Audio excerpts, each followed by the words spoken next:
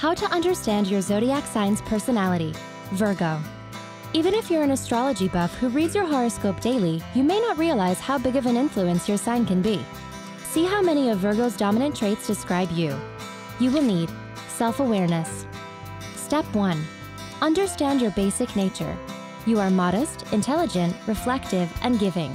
Step 2. Understand the weaknesses that come with your strengths. Your meticulousness can come across as fussy, and your generosity can be exploited. Step 3. Embrace your strong points. Your introspection gives you a deep understanding of human frailty, and that helps you forge meaningful relationships. Step 4. Know your love profile. You seek quality, not quantity, in romance, and will risk almost anything for true love. Your ideal partners are Taurus, Capricorn, and Cancer. Step 5.